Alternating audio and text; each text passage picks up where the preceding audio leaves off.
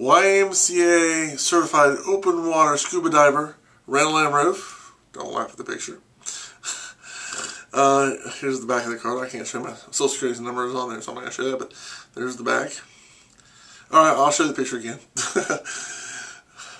is back in, this was issued on 9 2 uh, 92, so that means it's 2002. 20 years old few days ago. Wow. That's what I looked like 20 years ago. Man, time flies.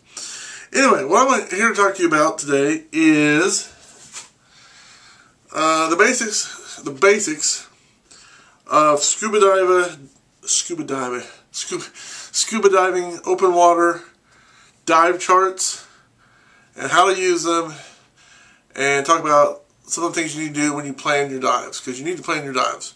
And what, what I mean by planning dives is plan how deep you're going to go at the most, and how long you're going to stay there. So it's very important for those of you who like to go deeper. Keep in mind that deeper isn't always better when it comes to scuba diving. Anyway, okay. First of all, let me talk about the three charts that I have. Well, I got two of them with me right here. This is the PADI uh, uh, dive chart. And I have the book Diving for Fun by Joe Strykowski. This is the book I learned uh, scuba diving with uh, the, the, through the YMCA scuba program at um, Donner Pool and, and uh, Columbus East School Swimming Pool through the Park and Rec Association in Columbus, Indiana. And in here are the U.S. Navy standard dive tables. And I don't have the YMCA table. I, um, they're right here somewhere, but I don't know. Anyway, here are the basic differences to start off with. The YMCA tables are more conservative. That means the YMCA open water certification says that our standards are that, that 100 feet is the most you're supposed to do with scuba. However, with the PADI on this, I think it was 100, uh, it goes up to um, 140 for two minutes, which isn't very long. But anyway, it goes up to 140 feet. So with everything 100 feet more being very cautionary.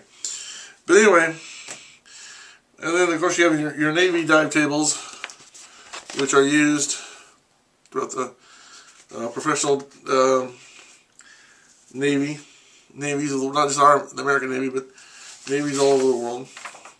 And they go up to, oh gosh, uh, they go up to 190. So,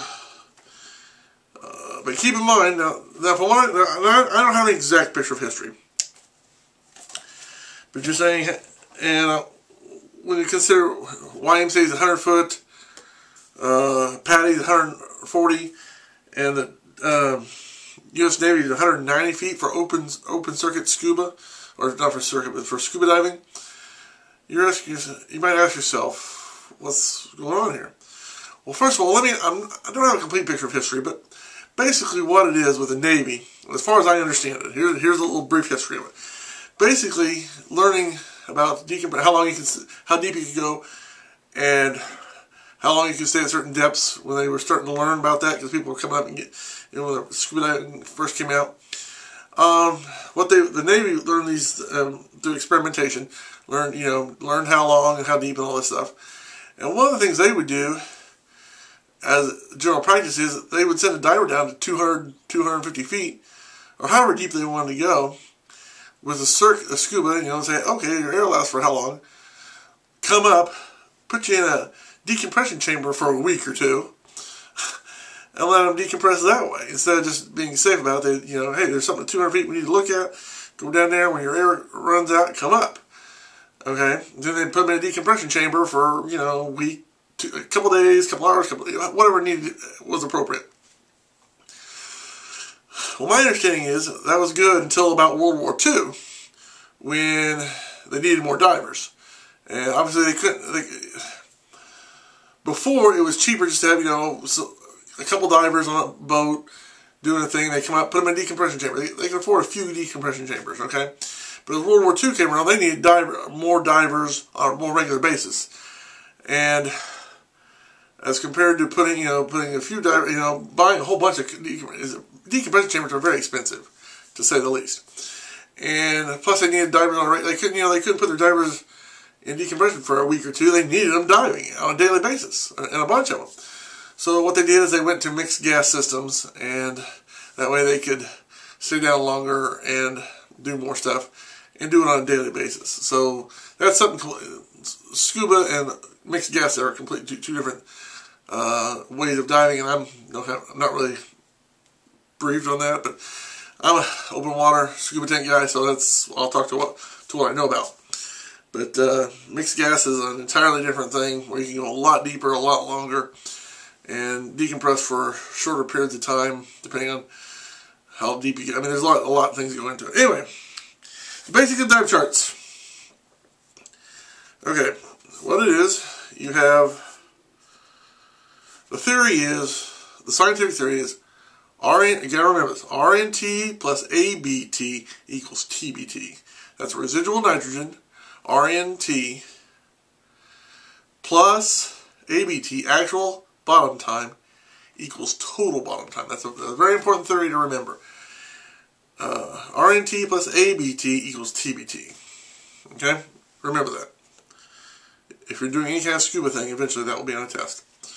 okay, so what we have here, let's say um, what you need to do is keep a watch, watch or keep a general idea of how long, or have a general idea of how deep you're going to go and how long you're going to stay there. Let's just say, for instance, we're going to go, okay, 70 feet. Okay, we start off. We start off here. This is okay. We're an A diver. What we call A diver. We're going to go to 60 feet for half hour.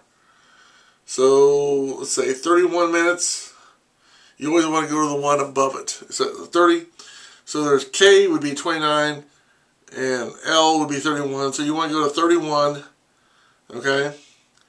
That takes you over to here. And you're an L diver. You come up to the surface, you're an L diver.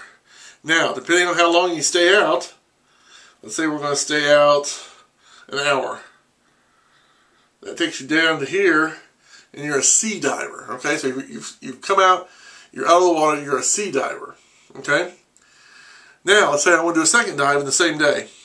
I come over here to C, and I do the same thing. I say, how long, how deep am I going to go, and how long? And basically, you just go, come over here, how long are you going to stay out, and that takes you to the level, okay? So that's the basics um, of how the dive chart works. And like I said, when you get into these gray areas, it's, for example, I mean, it can take. Sometimes it can take up to a half hour just to get into your gear, if you, especially if you if you're wearing a wetsuit. And to spend that much time, get half hour or longer getting into all your gear ready to go to 140 foot for eight minutes. I mean, seriously, really? That to me, unless there's something really, unless you got gold bricks down there, I'm not wouldn't recommend doing it. So I mean, it's something to think about. But that's the basics of how they work. So it's basically you start off with A, you figure out your depth and your time, come down, come across, figure out how long, it tells you where you're at as far as your letters. Then you figure out how, or stay out for so long, come down, you can start over wherever you're at. Then, and let's say you're a I diver, come up to start the next next dive, you start at I. So I mean that's just an example.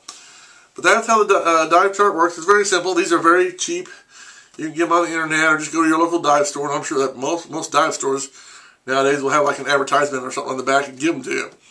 But that is the basics of the PADI dive chart. And the YMCA charts are similar, except like I said earlier, they're a little bit more conservative as far as times, which means they're safer. You know what I'm saying? keep in mind, there's an old saying: there's, there's old divers, there's bold divers, but there's no such thing, or very seldom thing, as an old bold diver. Something to keep in mind. So there you are. If you need to look, if you don't have them with you, obviously you can go on the internet and Google PADI or YMCA or U.S. Navy dive charts and find out exactly what they are. And always dive with a buddy. Make sure your equipment's in good shape, and it's best to plan your dives. That is, plan the time, your depth and your length, and uh, know all know how to use your equipment and know use it properly. So until next time, I'm Ronald Riss. Thanks for watching. Have a good day. Hope you learned a lot. And may God bless you.